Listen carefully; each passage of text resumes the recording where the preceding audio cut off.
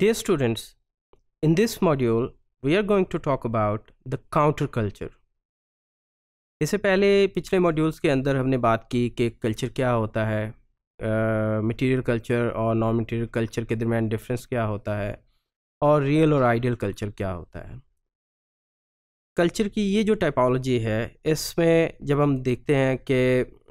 जो हमारे कल्चर के कुछ आइडियल्स होते हैं जो डिज़ायरेबल्स होते हैं उनके साथ साथ जो मेंबर्स का बिहेवियर है, वो बाज़ात उन आइडियल्स या डिज़ायरेबल कल्चर के मुनाफी होता है, या उससे एग्री नहीं कर रहा होता। जो कॉमन कल्चरल ट्रेड्स होती हैं, जिनकी मदद से जो एक मेजॉरिटी है वो अपनी एक डिस्टिंक्टिव आइडेंटिटी कंस्ट्रक्ट करती है, जिनकी मदद से सोसाइटी के अंदर नॉर्मेलिटी के पैटर्न्स डेवलप होते हैं और सोसाइटी जो है वो एक शेयर्ड कंसेंसस की तरफ़ जाती है। जो काउंटर कल्चर होते हैं वो उनसे एग्री नहीं करते।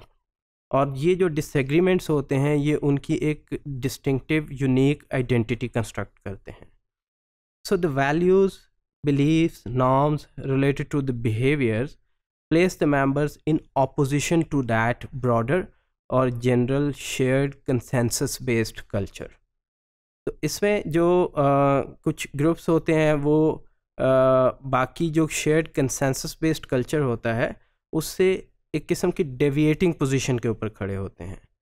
और ये स्ट्राइव करते हैं कि जो जिस कल्चर को वो परसू कर रहे हैं वो भी उस कलेक्टिव या शेयर्ड कल्चर का हिस्सा बन जाए।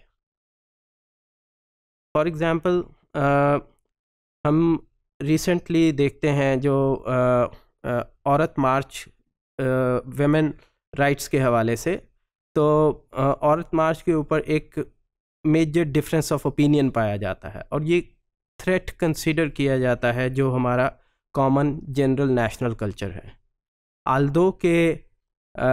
ह्यूमन राइट्स या वेमेन राइट्स के ऊपर तो एक कंसेंसस मौजूद है, लेकिन उन राइट्स को अचीव किस तरह से करना है, इसके ऊपर डिफरेंस ऑफ़ ओपिनियन पाया जाता है। सोसाइटी के एक तबके का ये ख्याल है कि जो ये राइट्स हैं ये uh, इस तरह के मार्च से इस तरह के प्रोटेस्ट से और uh, इस तरह की एजुटेशन के साथ जो है माशरे को सेंसिटाइज करके ये राइट्स अचीव किए जा सकते हैं।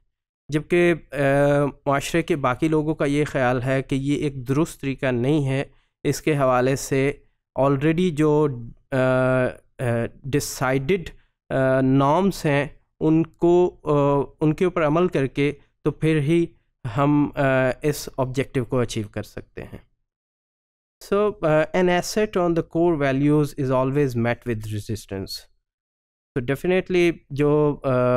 मेजर uh, इस्टेब्लिश्ड वैल्यूज़ होती हैं वो हमेशा जो आ, का, जो न्यू अराइविंग वैल्यूज़ होती हैं उनको रेजिस्ट करती हैं।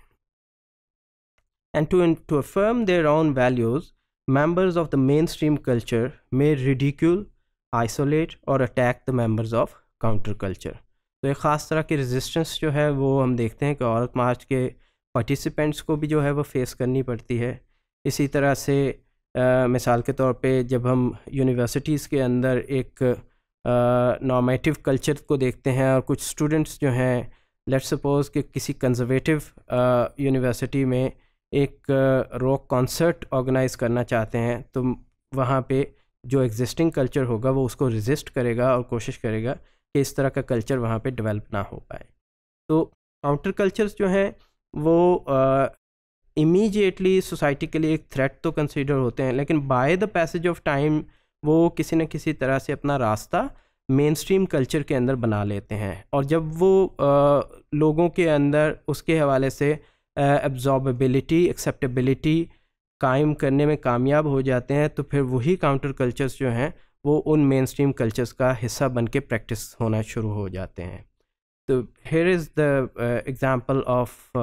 that counter culture about the women rights.